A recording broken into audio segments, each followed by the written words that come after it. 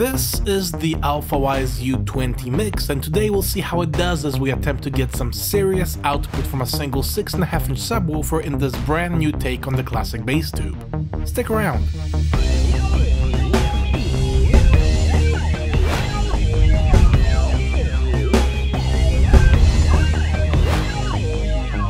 This massive box comes to me by way of GearBest, and right away here's a rather large build plate, a base, a box of accessories, and a gantry with two extruders. I am genuinely amused by the sheer size of this machine, in fact, if you look from over here the base actually extends beyond the table. The smaller box contains your typical assortment of tools and accessories. A little bit of PLA, a scraper, a couple of spool holders, a USB cable, some brackets, a surprisingly short power cable, some nippers, a stick of glue, a bag of screws, a set of Allen keys, zip ties, and for some reason a spare end stop switch. Anyhow, the gantry attaches to the base with a set of 4 screws, and then a pair of these brackets locks in for additional reinforcement. This seems like a reasonable provision given that the spool holders sit along the very top and are subject to sway. All the cables are zip tied in bundles along the sides and there's only a few things to connect, namely the two steppers for the Z-axis, one of the extruders, a consolidated ribbon cable for the other extruder plus the hot end, the X-axis stepper, and the X-axis end stop. So we've attached the gantry, the T-shaped fixtures, some bicycle handles, and all the harnesses. That's it for the instructions. I'll go out on a limb to assume that this goes here, and once the power supply is live, this button launches the user interface. Right away, the machine performs a power on self-test, which I like, but it also indicates a straight out of the box failure, which I do not, as it would appear that one of the thermistors or the heating elements isn't responding. I brought this up to GearBest, they in turn had a chat with Alfawise. Two days later, a response came in form of this package, and in it, a replacement hot end, a filament guide, and one complete lack of instructions, which hopefully means that there is no wrong way to perform this repair. That said, I decided to start at the business end, removing the fan housing for a better look around. The heater block is held in place with this retention screw, and once it is maneuvered out of the heatsink, we can follow the bundle of wires to the back of the printer where it disappears into another housing. So that comes apart.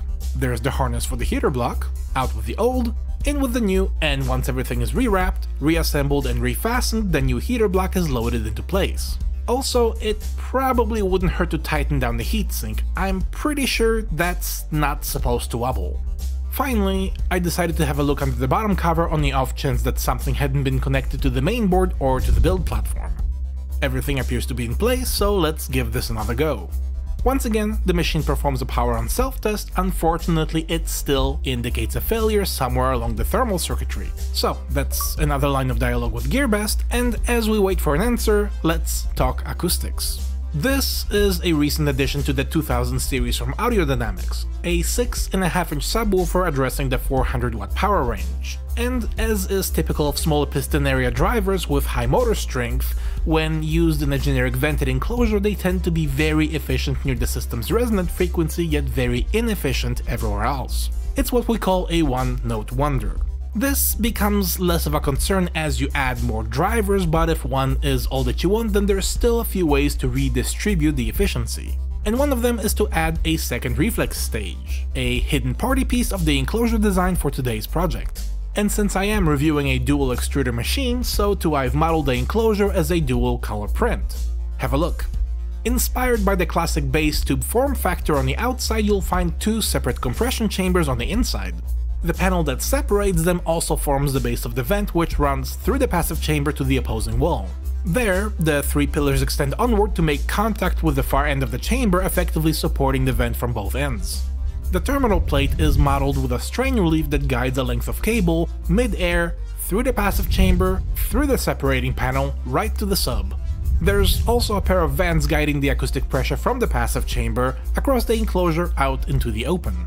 The two outer shells are designed with these wraparound accents as a way to take advantage of the machine's dual extruder capability. And as you can see here, I have outlined them with a bit of a notch to help keep them prominent even as a single color print.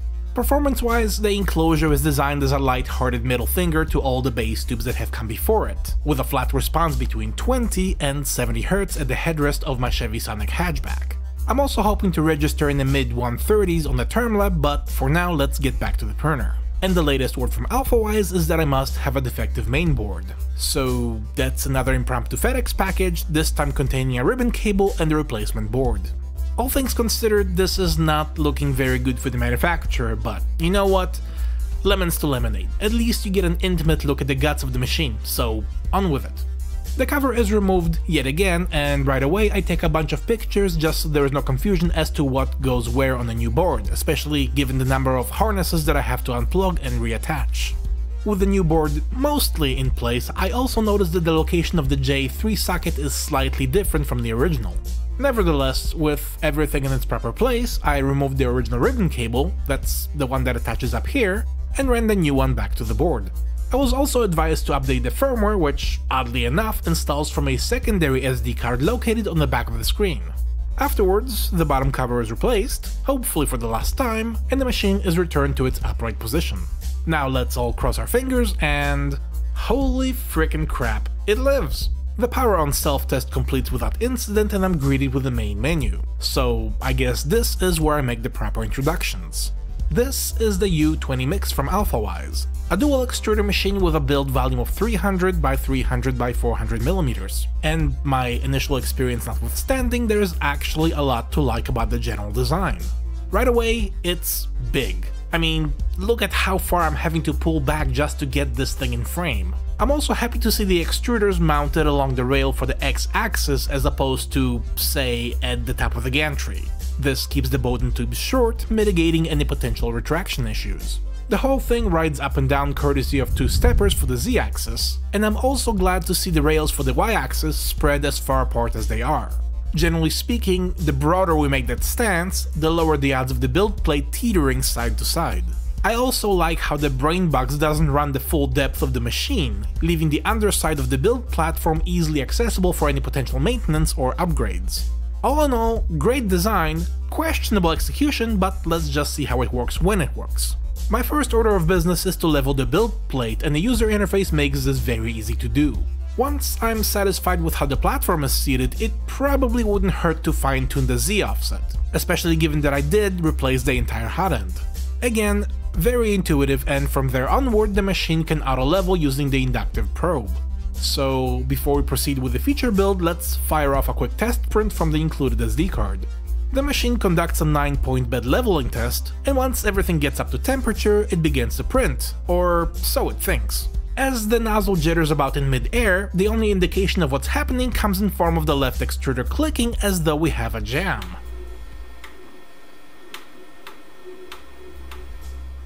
This seems next to impossible on a brand new machine, but as I attempt to feed some filament through the nozzle, clearly there's an issue. And in case you're wondering, the same thing happens with the right extruder. The gears are turning, but only to grind away the filament. Now, at this point, you may be thinking. But as a last ditch effort to get this contraption up and running, I decided to swap back to the original hot end. It certainly fits a lot better into the heatsink. Afterwards, the power on self-test confirms that there was never anything wrong with it, and after a quick recalibration we have filament flow. The test print completes with one major layer shift on the x-axis which does not inspire confidence, especially for a model that's less than a centimeter tall. Then again, this isn't my G-code so I can't vouch for how the model was sliced. Nevertheless, I think it's about time to get on with the feature build. Here's the filament that I bought for the occasion, and I got as much as I did because I'm also bringing the infill up to 40%. If you wanna know why, check out the video where I compare PLA to 5 different types of wood. Long story short, the print should perform roughly on par with MDF. So, I'll kick things off with the internal vent panel. It's a single color print with no supports and it shouldn't give the machine any trouble. Here's a look at the first layer. A little bit of infill. And by the time it's done, I have to say that I am not the least bit disappointed with how it turned out. We did lose some resolution on the X and Y axis toward the very top, but that's only to be expected as the further up we go, the more we rely on the print itself for horizontal stability. The metal build plate did an excellent job in terms of adhesion. Here, I give it a little bend, just enough to slip the blade in, and a few seconds later we have what looks to be one hell of an immersion blender. Next up, something a bit more challenging. This is the back half of the outer shell, a dual color print with internal supports, once again printing with a 40% infill. And now that we've reached the accent panels, I can show you how the color changeover happens. So here you can see the machine working on the black part of the layer. When it's done, the filament retracts and the nozzle travels over to the prime pillar. The other extruder feeds in the orange, and what's left of the black is purged onto this arbitrary structure. Afterwards, the nozzle returns to work on the orange part of the layer, and so on in that fashion as the enclosure takes shape. It is a painfully slow process, but if you're getting ready to drop a comment about this being a waste of time, bear in mind that it's the potential that paves the way to convenience. Your smartphone wasn't always a smartphone, and it took a few early adopters logging around some pretty gnarly mobile computing gear simply because it was possible, not because it was practical. And it had to be worth the trouble back then for it to become the convenience it is today. So, in that regard, I tip my hat to anyone who doesn't wait around for the mainstream. Anyhow, off the soapbox and back to the print, because I'm about to perform the world's fastest filament swap. It occurs to me that whichever color goes on standby, it retracts about 5cm up the Bowden tube, and since there is no filament runout detection, there is nothing stopping me from just pulling it out entirely, changing spools and feeding the new one right back in, all but those 5cm without ever pausing the print, which appears to have worked and the machine is none the wiser. See what I did there? Total downtime 0 minutes 0 seconds. Days later, the print completes without much ado, and again it did not turn out half bad. The build plate kept a firm grip all the way around, and once it had gotten a chance to cool, the model simply popped off without me having to use the Reptor blade. 240 hours and 3 kilograms of filament into the print, I can definitely sense the machine trying to redeem itself.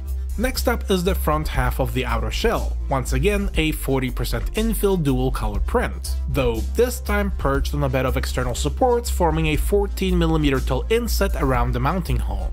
I'm obviously not taking it easy on this machine, then again you don't buy something like this to print a little fish stick. This is 1.27 cubic feet of build volume, and I'm perfectly happy to fill a good bit of it before I decide whether or not it's any good.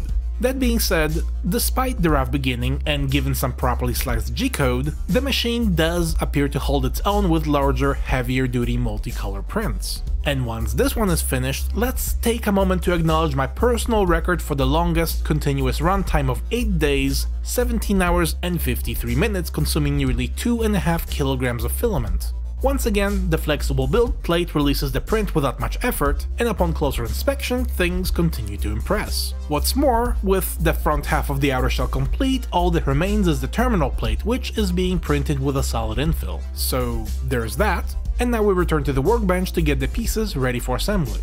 Right away, all these supports have to come off. There's also a bit of stringing which can be taken care of with a heat gun. The internal supports prove a tad more stubborn, though once they're out, at long last all the bits and pieces are finally ready to come together. And with that we can move on to the wiring. Here it's pretty much the same story as with my other projects. The binding posts are threaded into the terminal plate, except now the wire comes in through the strain relief and is wrapped directly around the posts. A dab of solder to keep it from unwinding, a couple of nuts to hold it in place and it's ready to go in. Here's Sophie's hand applying the JB Weld, and here's mine pressing the plate flat against the inset. A couple of sandbags should keep it there until the epoxy cures. Let's make that 3. Next, we'll want to bond the internal vent panel to the ledge along the other half of the enclosure. And here I'll use a set of these wooden blocks to help distribute the clamping force more evenly. A helping hand, or two from Sophie, and we're all set for the next step.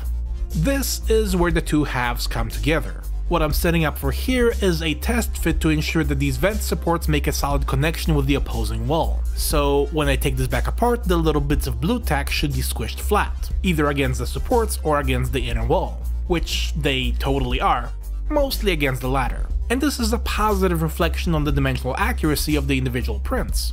Anyhow, let's get this thing closed up. Here's another batch of JB Weld going into the groove, and a generous glob of it spread across the three pillars. When all is said and done, the vent will double as an axial brace, making the enclosure insanely rigid along the baffles parallel with the sub, as it is already abundantly rigid on the radial axes. Before we load the sub, there is still a matter of sealing around the speaker wire, and as you can see, I designed the through hole with a chamfer to serve as a tiny pull for the epoxy. So with the wire clamped out of the way, the final glob of JB Weld settles in to form an airtight seal. And now we can drop in the sub. At this point, if you're a frequent visitor to the channel, it should come as no surprise that I like to seal my subs with Blu Tack. However, if this is our first encounter, then... Surprise. That's my pop for you. Always full of surprises. And I'm not your pop, though you should consider subscribing. Anyhow, the coils will be wired in parallel, as that is also how I modeled the enclosure. And after a few minutes of screwing, the build is finally complete. 2,570 layers from one end to the other forming what is probably the most structurally advanced 3D printed bass tube in existence. At least as of this video and I'm sure that someone can fact check me in the comments. So let's get this out to the car, bring the amplifier back to life, and wire this thing up. We'll begin with a frequency sweep using the new UMIK-2 from miniDSP. By the way, if you're interested in an in-depth look at the microphone, including the unabridged version of this test, complete with some anechoic analysis in the Audio Dynamics sound room, be on the lookout for my upcoming miniDSP video. For now, let's just aim this thing at the headrest and acquire some data.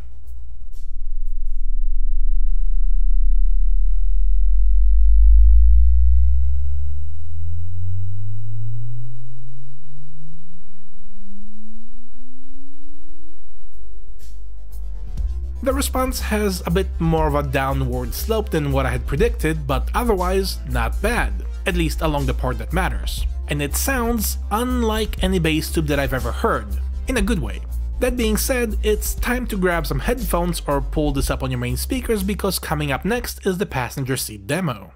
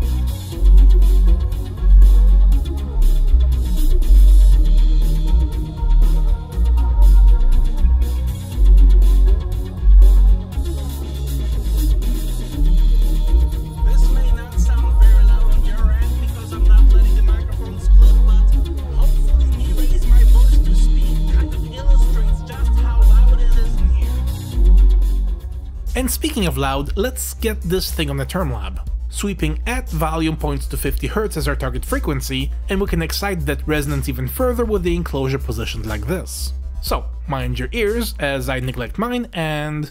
50 cycles.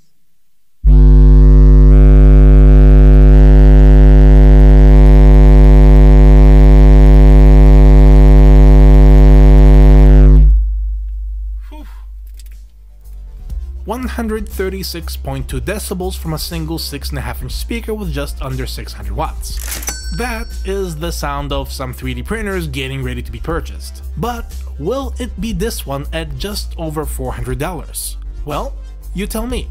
Having watched the entirety of my experience with this machine, some of you will undoubtedly view the level of maintenance as commonplace for the 3D printing hobbyist. Others may find it highly unacceptable. Thankfully, the odds of the machine cranking out prints like these are a lot higher than the odds of you receiving a lemon. That being said, once operational, the machine did complete a 445 hour print without a single hiccup. Sure, I could have used a larger nozzle and cut that time in half, but the whole point of this review was to introduce a challenge for the machine to overcome, which it did. And now I have a souvenir crafted at 0.2mm resolution. I also made the STL files available on Thingiverse, so if you're feeling adventurous, all you really need is a single AD2206 and about 3 weeks of nothing better to print. Furthermore, if you know of anyone else looking for a high performance, low profile subwoofer, consider bringing this project to their attention. And you can check the links down below for all the relevant products, materials, and other resources. Don't forget to rate the video as you see fit, and as always, comment down below with a breakdown of your listening gear and your thoughts on the sound demo. I'm pretty sure I've already recommended subscribing to the channel if you haven't already, so with that, I will see you in the next one. Cheers!